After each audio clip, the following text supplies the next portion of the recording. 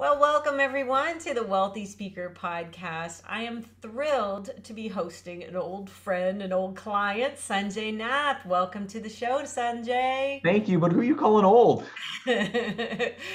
old friends. I'm Oh, very specific about how I use that. Uh, today, we're talking about how to create a long term strategy. Tell everybody what age you were and how long you have been in this business. Ah, January 8th, 1995. That was my first presentation. Um, the story goes this. So I've been doing this just a little over 27 years. Wow. And yeah, I, I started off in one market. I've kind of evolved into another, but I still play in the first market because the phone keeps ringing.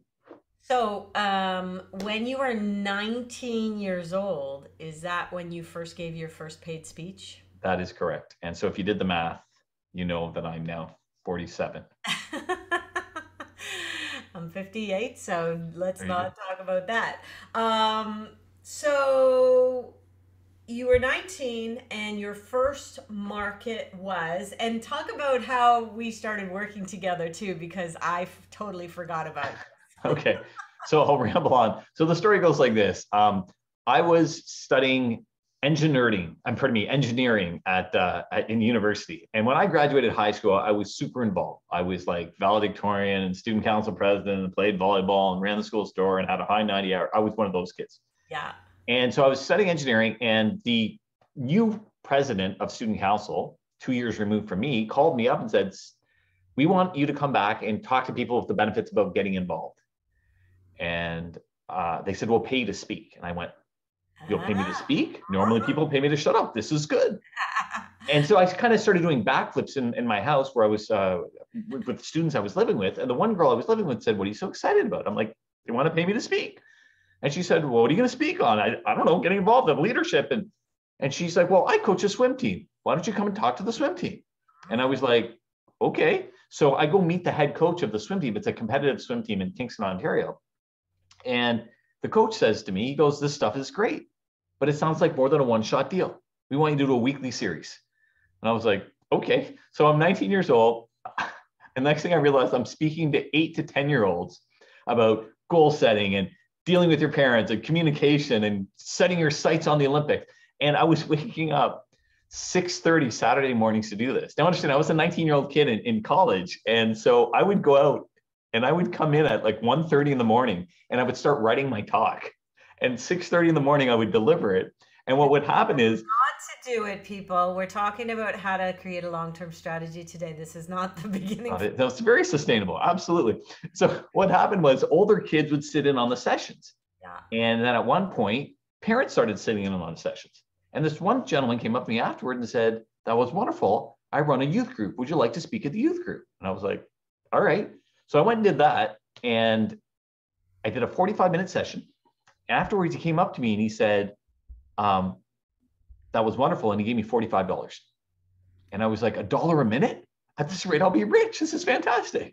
Uh, but I actually, initially, I refused it. It was one of my first big aha lessons. I refused. I said, No, I'm, ju- I'm doing this voluntarily. And he said, No, I'm sorry. He goes, This is what we have money for. I'm sorry we couldn't pay you more. It's worth more. And in that audience, there were some teachers. And a teacher came up to me afterwards, and that was great. How much do you charge to speak at schools? And I went, You can charge to speak at schools? And in my 19 year old wisdom, I came up with the biggest number I could possibly think of. I said, I, ch- I, ch- I ch- charge, I, I, I charge, ch- ch- charge $300. Now, 1995, I'm a 19 year old kid, $300.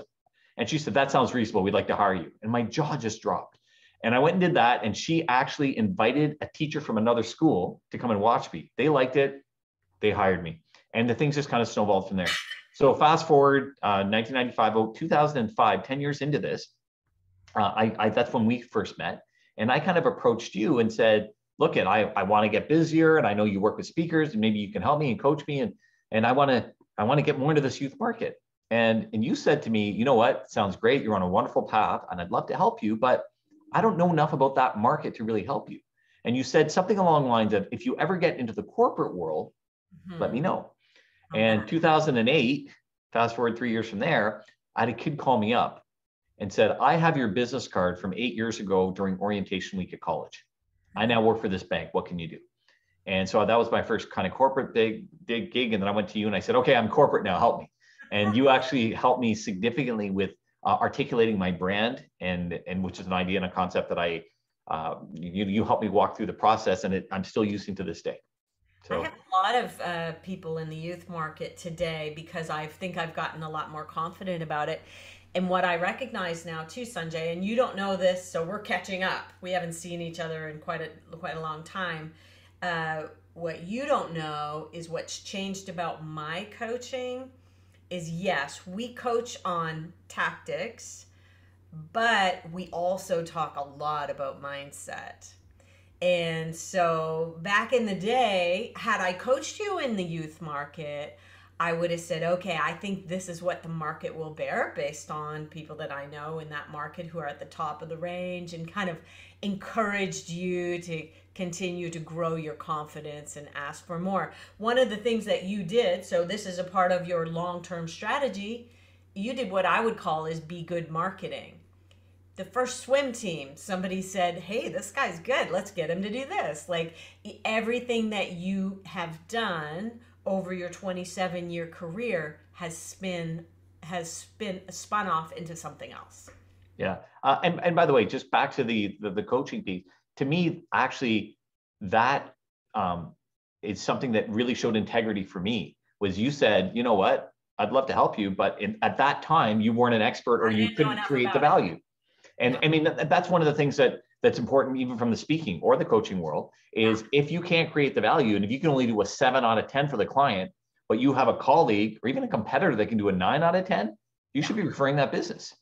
Because the customer remembers and more importantly the value is created.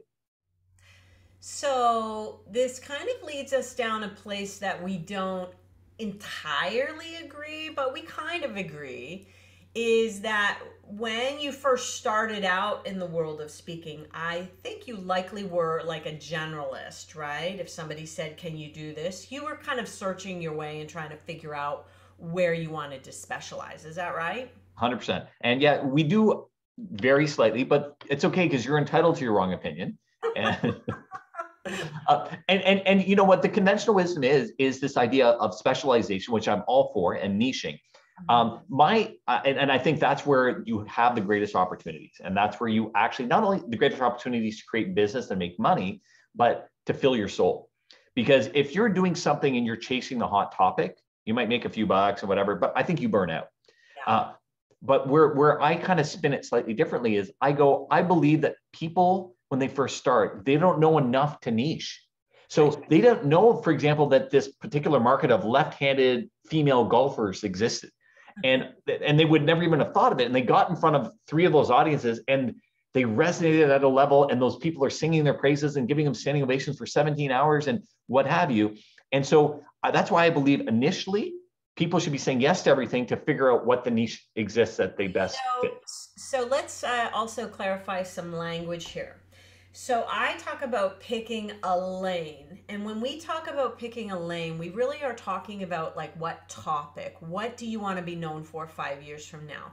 But then there's also this idea of a niche, and to me that's a target market. That's a group of people that you're going to maybe drill down on. Are we on the same page about that? Sure. Uh, yeah. Right okay, so Sorry, wait a second. When you said you know, pick a lane, uh, is Elaine cute? And is she single? I'm sorry. Okay, go ahead. Oh my gosh. Down the rabbit hole we go. Okay. Hey, you, can, you can edit that out later. Don't worry about it. No, no, no. We don't edit. I forgot to tell you. We don't edit the podcast, so it's all good. Um, so when it, let's talk about when you decided what your lane was going to be and what it is today. Like when did you start to identify who your market was. You've got a you've got a philosophy called 1080 10. I want to hear about that. When exactly did everything start to come together for you? I know work in the youth market, they can really work you hard. Yeah. Uh, so again, so the youth market, people would, you know, uh, back then it was a lot of, uh, and in today's day language we use Black Lives Matter. Back then it used to be called anti-discrimination or uh, racism and, and, so that was a topic and then there was uh, bullying was kind of uh, up and around there and then there was leadership and then there was drinking and driving speakers and so anytime i had an opportunity i was saying yes yes yes yes yes because i didn't know what i didn't know and then later it was probably around the time you know this is a shameless plug for you but when i really actually started to hone in was working with you and that was probably I was 10 years into the business. Now, I don't think people need to take 10 years to start niching. I think that's I'm I'm a I'm a slow learner. I, I admit. Um, be clear to pick a lane, they don't need to take 10 years. But it, it's not uncommon in the youth market, I think, for somebody to be a little bit more of a jack of all trades. Right. Yeah, 100%. Um, and so it was, uh, in fact, and, and I've seen it in your book and stuff, but you have this pretty little chart, and I'm a numbers guy and I like charts. And and it, basically, what you made me do is you said, and again, we're going back 13 years, and we haven't talked about this since, but you said, what are all the topics you could possibly speak on credibly? Yeah, and then you're like, what's the market? What's the potential to make money? What's it? Whatever, all this sort of. And it was just a simple add them up, multiply, do a weighted average, and that kind of allowed me to see some of the stuff that I wasn't really a superstar at ranked low. And then when I kind of had that reflection, I went, it ranks low, but I realized that I didn't get the same stomach, the same excitement level uh, when someone would call me and ask me to do something on drinking and driving, right? And and and so what I, I learned to do is more around the leadership piece of it and making smart choices. So after that, when someone said, "Hey, I'm looking for a drinking and driving speaker," I would say, "I don't do drinking and driving." Um, you know, I got a friend Matt; he does a great job with that. But if you're looking for someone to talk about choices specifically, then I can do that. And sometimes they say to me, Oh, that's perfect. We want you and choice is great. Or they go, No, we're looking for someone. And I go, Great, Matt's your guy.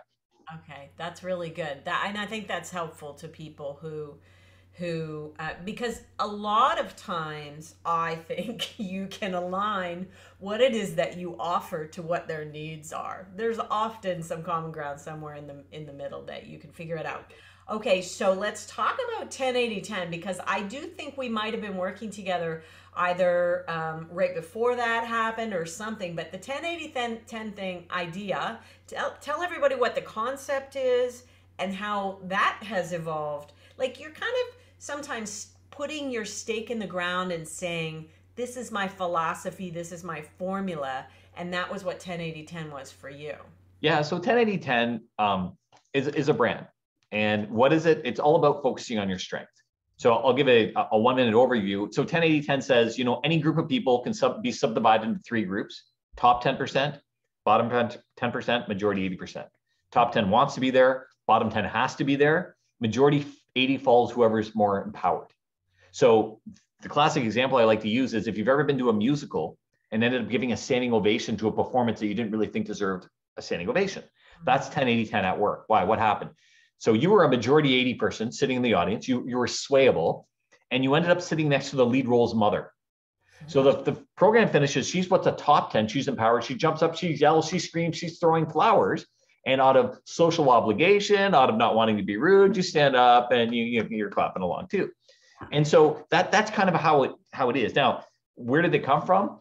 Every time I read a leadership book or a personal development video or anything I found certain themes kept on coming up time and time again. And this notion of focusing on your strengths were set in various different forms. And so what I, I literally did is like I pulled together a couple hundred of these ideas um, from like Pareto principle and Jack Welch's differentiation and Newton's third law and, and like put them all together and kind of came up with this articulation.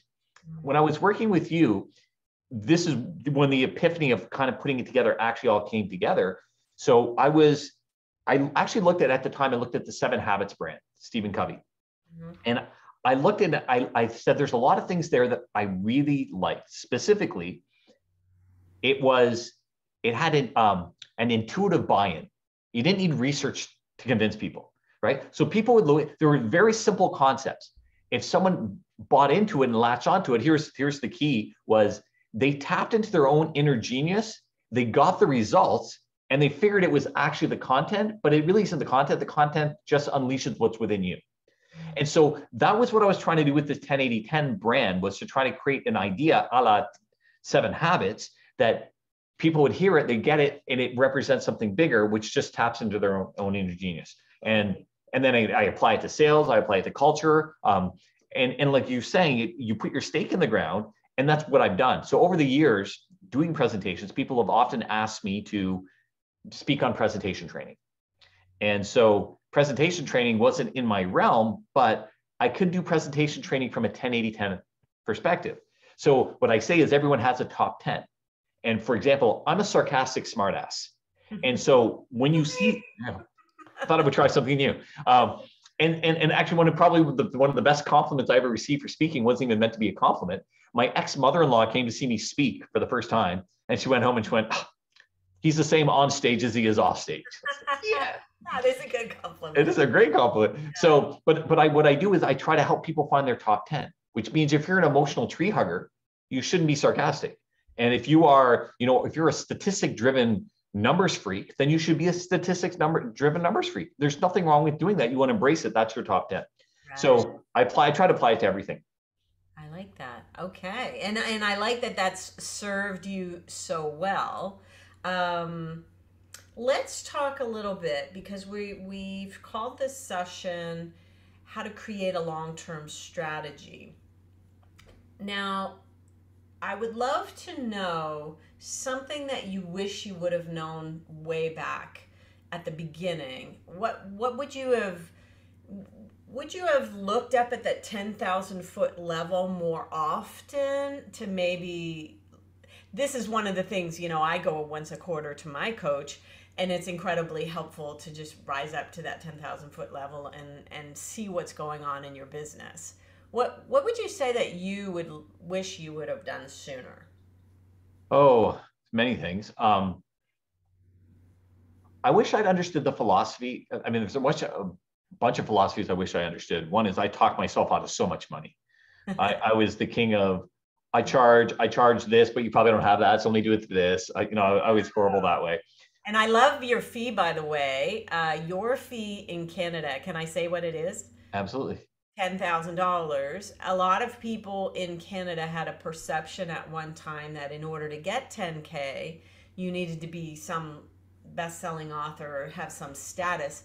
And uh, I do believe that mindset is a huge part of what's possible and I'm seeing 10 and I'm seeing 12 and I'm seeing 15 and I'm seeing 20 for people who are not celebrities. So that's good news for Canadian speakers. And if you're in the US, of course, I want you to know that um, when I say to a speakers bureau that my client is 25K, they're like, oh, great.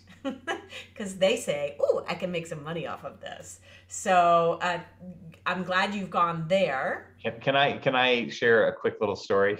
Yes. Um, I, am actually I'm I'm 15 now. I was 10 before. Oh, I'm up to 15. That's wrong. okay.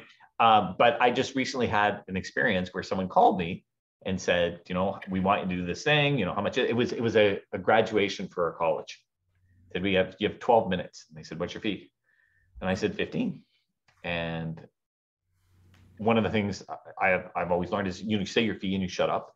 And if there's silence, you kind of you know do a follow up question, and that's what I got selling. So, well, what's the budget? And I'm thinking they're going to say it's a bag of Doritos, and she says fifty. At which point I was like, when you have fifty grand for yeah. a 12 minute presentation, you are going celebrity. Yeah. Right. And and they ended up they ended up using a celebrity, which is fine. But yeah how often do our does our own perception kind of jump in? Oh, oh, they they're only going to give me a bag of Doritos. Oh, it's not going to. But they had fifty grand in the uh, in, in the budget. So, so by the way, going back to that, you know, what, what's one of the things uh, I wish I'd known. I used to think one speak. I call them speaks, by the way. I've always called them speaks. I used to think one speak makes or breaks you, and it doesn't. So I used to think only if I got this one opportunity, then life would be good. Or if I mess this up, life is over. It's not. One speak does not make or break you. That's funny. Vince and I used to joke about that. So I managed a speaker named Vince Poscente out of Dallas, and he would call after an engagement and he would say, Everything has changed. like because one speak was going to make or break, right? And we would joke and laugh about it because really it was all just like an incremental thing there are some gigs that have really good spin-off potential. Let's be clear on that. Um, but if you get a TED talk, it may not change your life. It may change your life or it may not change your life. And, you know, the odds are probably leaning in favor of not. So thank you. So one speak will not make or break you. Uh, let's talk about one bomb for one speak. That's what I mean, make or break. You won't break you. One bomb, like unless there are very few exceptions. Uh, and one of the exceptions that comes to my mind is Michael Kramer, the guy that uh, uh, not Michael Kramer, Cosmo Kramer, uh, uh, Michael Richards, Michael Richards. Yeah. There's an example when you have such a high, when you start so high, and you you can crash and burn in front of front of an audience when you have the world looking at you. Yes, when you're like rude and offensive and you make really poor choices. Yeah. Totally. But for most people, if you get in front of an audience and you bomb, yeah. And and if you do this long enough, it, you will bomb because yeah. at some point, and there's different degrees of bombing, you will bomb. It will not destroy your career. No. And and please know for those of you who a, a, a part of your strategy for coming back from something like that and I I've given this to one of my highest paid speakers, hottest, hottest, hottest, you know, seven figure earner. Um, when you bomb, one of the one of the tactics I'm going to say is to actually have your next speech just really really focus on the audience. Make it about them and not you. Because if your thought going into that audience is, oh no, you know, I just bombed, what's this to be? I'm no good, and all of that, that is not to lead that's to lead you down to a very dark path and you're to go into it with uncertainty. But when you focus on the audience instead of yourself don't you find that that just kind of alleviates all that nonsense talk that we say to ourselves? 100% uh, and, and it's I, i'm going to go even higher forget the next talk you should be doing that every talk I mean, ultimately, if you want sustainability, if you want to create value, and you know, I believe that you should be creating value and getting paid handsomely for doing so. So if you create more value, you should make more money. And one of the best ways to create value is not to go do, you know, personal therapy on the stage. Yeah. It's it's a matter of what is most helpful for these people, what's going to move them forward, whether it's personally or professionally or a combination of both or financially or spiritually or depending on your topic. And when you come from that place, even if you do find yourself messing up or there's a technical glitch or whatever, people will give you so much rope and so much slack because they can they can smell it. If you're genuinely there to try to help them and something goes awry, they still will support you. And so it, it, it helps both ways. So it should be after every bomb, but after every success uh, as well. I love it. You know, inside the Wealthy Speakers School, we give both tactics and strategy. So we're kind of helping people with their long term vision of their business and really, you know, what are some of the bigger picture goals. But I'm going to also add to that that we also have woven mindset through the whole thing. And I, I really do believe that your confidence and your mindset kind of need to build and grow as you grow. Talk a little bit about um, speakers needing tactics versus strategy. Well, I mean, you know, strategy, let's define them. To me, strategy is the big levels, the 10,000 foot view. It's the path in which you're going. Uh, sorry, it's not even the path. It's, it's more the, the destination. And then yeah. tactics, tactics are the, are the path. It's we're going down this street and then that street and that. And one of the observations I found, and I've had the opportunity to, to mentor speakers uh, along this road in, in, over the past years. And I find that when people come into this newish or newer-ish, they tend to think they need uh, they need tactics. They're like, no, no, I just I just need someone to make the phone ring. I'm just going to show up uh, and, and and speak. Oh, just tell me what the tagline is to get more business. Okay. And and, and they often get overwhelmed because the tactics aren't as obvious when the strategy's not there. Right. And so we tend to, you know, the, the, cliche, if you go to the NSAs and the CAPSs of the world, people go, I was like drinking from a fire hose. And the reason you feel that is because strategically you don't know where you're going to be. So one tactic says, if you're down this strategy, go this way. The other, another tactic says, go the opposite way, but that's because you're using a different strategy. Mm-hmm. So what I find is when I started going to conventions and learning and becoming a student of the game, uh, I was looking for tactics, but I ended up learning strategy. Once you kind of get a strategy and you own the strategy, that's the other thing too.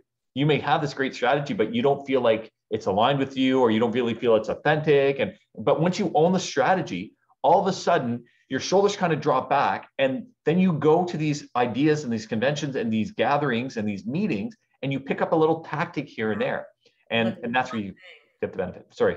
You're looking for one thing. You're looking for one idea. Oh yeah, that's it. That's all I needed. Um, yeah. I mean, a quick little example of, of that. Someone said uh, I was at a meeting. I don't know, a year or two ago, maybe I don't know, five years ago, whatever. Um, and they said in your LinkedIn profile, you should always write your email address because if if someone's not connected to you, they, they would have to become your friend, and then you'd have to accept it. And if they want to reach out to you for whatever reason, your your address is there boom, put it there. And I was like, oh, that's brilliant. But that's a little tactic. That doesn't change your speaking business. But if you have a pathway and you know where you want to go, then those tactics really become helpful. That's interesting. Um, let me just throw some more mud into the water here because one of the analogies that um, a coach gave me was, and this is how we sell the Wealthy Speaker School now, was that when let's say you were baking a batch of chocolate chip cookies and i'm sure you have something funny to say about that but you're you um uh, and we're comparing kind of the the batch of chocolate chip cookies to starting a speaking business well you wouldn't go out onto the internet and search 10 different recipes and then take a little piece of each recipe take one ingredient from each recipe and put it together and make your own you'd actually follow a recipe. And so we have a recipe ready, aim, fire. Whereas most people, one of the biggest problems I think in the speaking business is that people are piecemealing together their tactics and their strategy and they're not following one recipe. And so just to kind of drive that home, I think that, um, well, now I'm hungry and I'm interested in going to you know it, that that point that you make i actually do a program where i it's an interactive thing when i get people to solve a logic puzzle. And it's actually an individual logic puzzle like it's a, it's a one person thing but i get them to do groups of four or five. And they actually have chips and they physically have to like slide and move chips over. And what i find is because there's one set of chips you get people doing what i call hungry hungry hippo hands so someone starts doing, someone goes, no, let me try it. No, let me try it. And they're, they're fighting for the chips. And so the language I use to the exact same point is what happens is they're bastardizing the solution.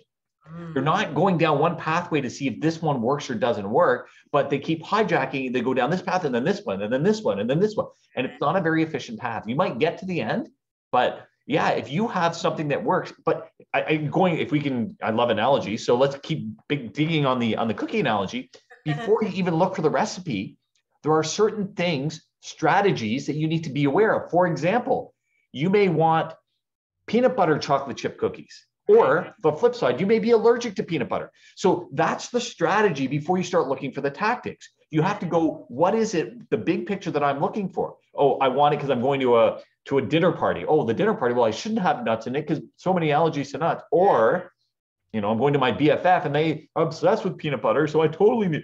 So you need the strategy before you can get the tactics. And once you get the tactics, you want to have a blueprint that has a proven record of success so that you don't bastardize the solution and you get there as efficiently as possible. This was like, we just mashed together like 14 analogies into one conversation. Sunjay Nath, I always love talking to you, and I have loved watching your 27 year trajectory in this business. Um, I'm excited for you and where you are today. If people want to get in touch with you, how should they connect with you on LinkedIn? What, what, what's the best way to get that, do that? To, to get in touch with me is just email me, which is my my email. It's sunjay at sunjaynath.com and I'm assuming you're going to pop that up or my name shows up somewhere. Um, but yeah, uh, my website is my name, sunjaynath.com. Or if you get like a styrofoam cup and a really long string and then give me the other end, we can we can talk. We can go low tech. I love it. Well, thank you so much for being on the show today. By the way, I just want to put in a plug for the Wealthy Speaker School. We have just opened up uh, a new kind of pricing to our school that has become an absolute no brainer. So, if you know any speakers who are looking to get on the path and to earning that first 100K in speaking, definitely make sure that you check out wealthyspeakerschool.com. Thank you all for listening. Thank you, Sunjay, for being here. And with that, we will say, see you soon, multi speakers. Bye for now.